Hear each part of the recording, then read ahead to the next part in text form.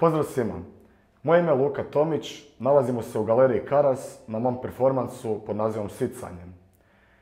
Sicanje je tetoviranje kod kršćana u Srednjoj Bosni gdje su žene tetovirale simbole e, kola, ograde, narukvica, gdje su glavni motiv tih simbola križići da bi se zaštitili od osmanske okupacije, odnosno od odlazaka u hareme.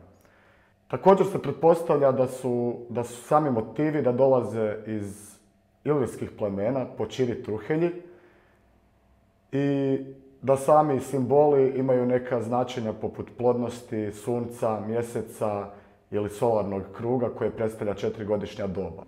Moja baka također ima tetoviran križić na sebi. Oni su prije to radili sa čađom iz lučice pomješanom sa medom ili sa pljuvačkom.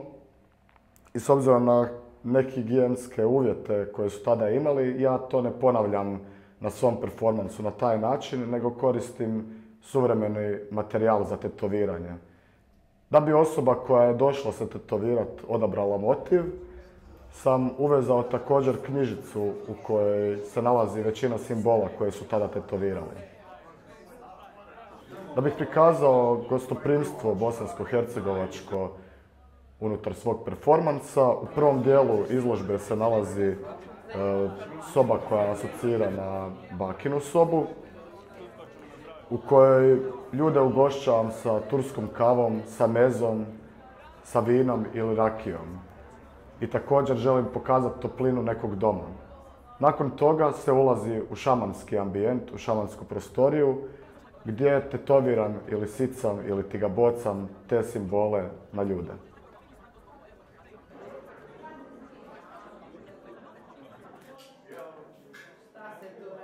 1, 2, 3, 23. datum rođenja stare, ovaj tulipan, od mame, mama tulipane i stara mi je izabrala ovu tetovažu.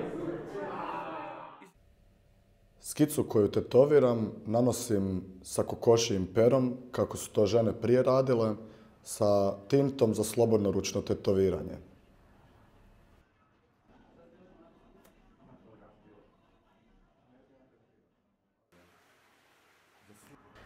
U sobi koja asocira na dnevni boravak se nalazi monitor sa tabletićem na njemu na kojem se nalazi projekcija e, mog tetoviranja u ritualnoj sobi.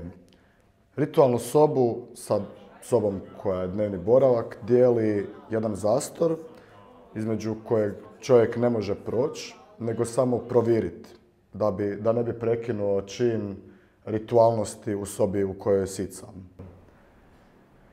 Treći dan samog performansa došao je kum Tomislav s polja na kojeg sam naišao, koji nam je zasvirao također svoje gajde i unio svoj blagoslov u prostor.